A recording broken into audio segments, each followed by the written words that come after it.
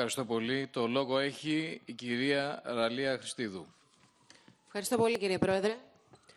Πολιτικά κρίνοντας φυσικά τον κύριο Αντωνίου, ε, διαβάζω στις δηλώσεις σας που κάνατε πριν αναλάβετε πρόεδρος ε, του ΙΕΠ ότι προτείνετε ένα νέο νόμο για την επιλογή των στελεχών της εκπαίδευσης, όπως λέτε. Διαβάζω τα λόγια σας.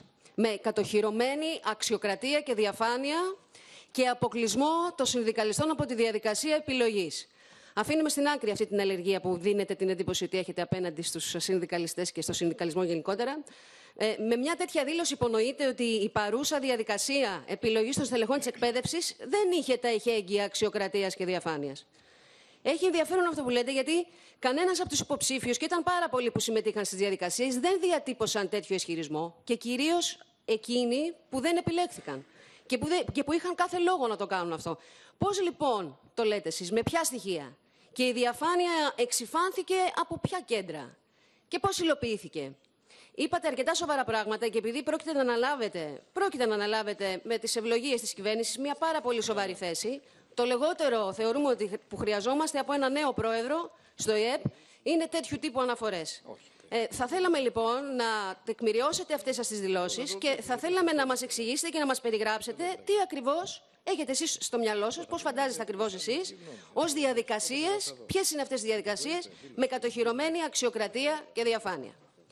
Συνάδει, κατά τη γνώμη σας, η αξιοκρατία με την επαναφορά του θεσμού των σχολικών συμβούλων, με αυξημένη υποπτική και, αξιο... και αξιολογική δικαιοδοσία, που όπως διαβάσαμε επίσης πάλι στις δηλώσεις σας, θέλετε; Όταν δηλαδή η εποπτεία και η αξιολόγηση γίνεται από ένα άτομο, δεν κινδυνεύει να είναι κατεξοχήν αδιαφανής και υποκείμενη σε ανάπτυξη διαπλεκόμενων σχέσεων. Διαβάσαμε στις δηλώσεις σας επίσης ότι προτείνεται θέσπιση εκ νέου της περιοδικής αξιολόγησης των στελεχών της εκπαίδευσης και των εκπαιδευτικών. Σας ρωτάμε λοιπόν, πριν έρθει ο ΣΥΡΙΖΑ το, 2000, ε, το 2014, στο οποίο επιθυμείτε την εκπαιδευτική επιστροφή, όπως δηλώνετε, η αξιολόγηση που πρότεινε η τότε κυβέρνηση είχε συγκεκριμένο ποσοστό εκπαιδευτικών σε κάθε σχολική μονάδα που έπρεπε, έπρεπε να κριθούν ανεπαρκείς. Εσείς γιατί είδους αξιολόγηση μιλάτε, με τι σκοπό; Και το ρολόι προχωράει. Είστε προκατηλημένοι τελικά. Ένα λεπτό έχετε ακόμα. Όχι, με συγχωρείτε, με συγχωρείτε, με συγχωρείτε. Με συγχωρείτε. Λοιπόν, ε, κοιτάζοντας το, το βιογραφικό σας, η λέξη αξιολόγηση αναφέρεται τουλάχιστον 20 φορές.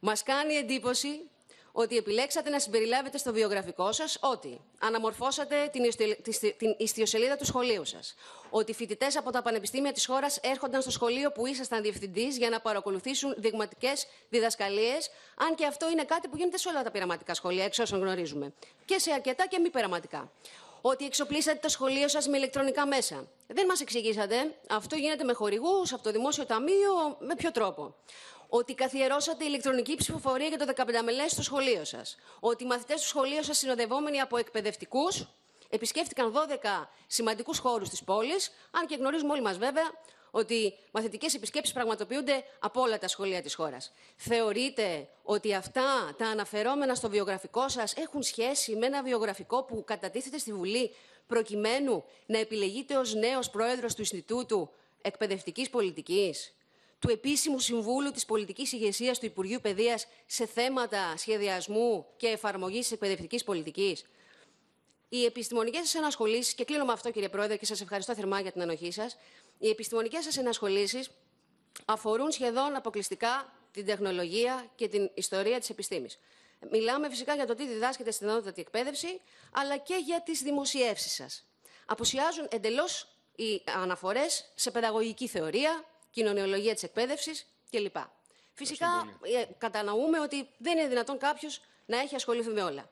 Αλλά αναρωτιόμαστε, ένας άνθρωπος όπως εσείς, ο οποίος πραγματικά πιστεύουμε ότι έχει βαθιά πίστη στο θεσμό της αξιολόγησης, πώς εσείς αξιολογείτε αυτή την έλλειψη; Σας αγχώνει ή το θεωρείτε άνευ μεγάλης σημασίας σε αυτό το θεωρητικό κενό σε σχέση με τα νέα καθήκοντα που πρόκειται να αναλάβει. Σας ευχαριστώ θερμά.